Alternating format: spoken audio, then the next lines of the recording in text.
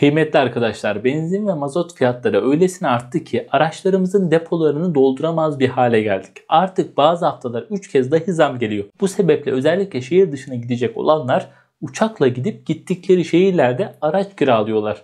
Araç kiralayan kişilerin sayısında ciddi bir artış olduğundan bu sektöre el atan dolandırıcı sayısı da fazlasıyla arttı. Son 3 ayda en az 20 kişi araç kiralarken dolandırıldığını ne yapması gerektiğini sormak için beni aradı. Bakın araç kiralama firmalarının birçoğu bu işi dolandırıcılık yapabilmek için kullanıyor. Araç kiralarken çok uyanık ve dikkatli olup acele etmemen lazım. Araç kiralama firmalarının yaptıkları dolandırıcılık tekniklerini anlatalım. 1. Aracı sana teslim etmeden önce derler ki araçla kaza yapma ihtimalim var ya da araca trafik cezası yazdırma ihtimalim var.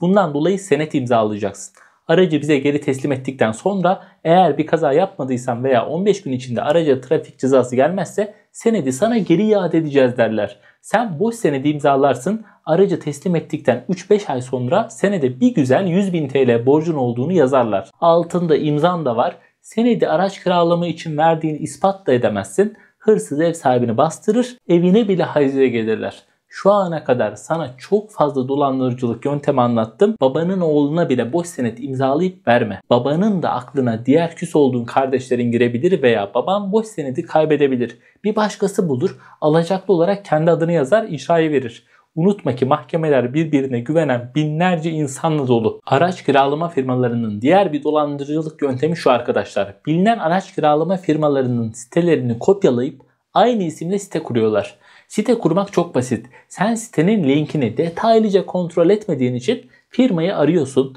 Özellikle bayram 14 Şubat gibi özel günlerden önce yoğunluk nedeniyle kapora almadan kiralama yapmadıklarını söyleyip onlarca insandan kapora aldıktan sonra vurgun yapıp ortadan kayboluyorlar. Araç kiralayacaksan önceden kapora isteyen hiçbir firmayla çalışma ve girdiğin sitelerin adres çubuğundaki linki kontrol et. Araç kiralama firmalarının en çok kullandığı dolandırıcılık yöntemlerinden biri de şu şekilde. Kiraladığın araçta birçok çizik, vuruk veya hasar olabilir. Sen aracı kiralamadan önce acele edip bunlara dikkat etmedin ya da bu yöntemi bilmediğinden dolayı aklına gelmedi.